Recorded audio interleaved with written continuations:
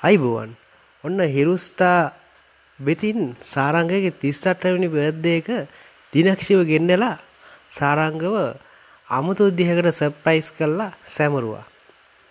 ඉතිං එම සර්ප්‍රයිස් එක සාරංගට ලොකුම සර්ප්‍රයිසයක් වුණ විදිහ නම් ආර්වේ අපිට දැනගන්න ලැබුණේ සාරංගව ඒ මොහොතේදී ගොලු වූ නිසාවෙන්. කොහොම හරි ඒ මොහොතට සාරංග නම් ඉතාමත් ආදරයෙන් සහභාගි වුණ බව අපි දැක්කා. ඒ වගේම හිරුස්ථාලෝලි ඔබත් දැක කියලා අපි දන්නවා.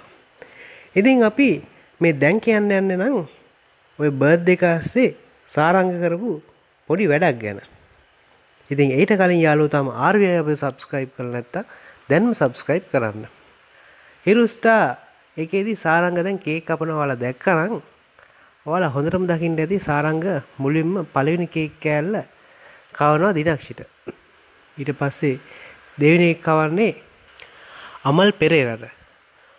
තුන්වෙනි කෑල්ල ශිහාන්ට කවපු සාරංග එතිනින් නවතින්නේ එතන හිටපු විරාජිනිය නිරෝෂා විරාජිනීට කෑල්ල කවන්නේ නැතුවමයි.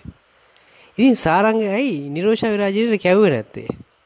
ඇයි සාරංග බයුනාද දිනක්ෂි සාරංගට බණී කියලා නිරෝෂා විරාජිනීට කේක් කෑල්ලක් කැව්වොත් ඒක ගැනම් අපි දන්නේ කොහොමෙන් කොහොම හරි RBI අපිත් සාරංගට සුබම සුබ උපන්දිනයක් ප්‍රාර්ථනා කරනවා.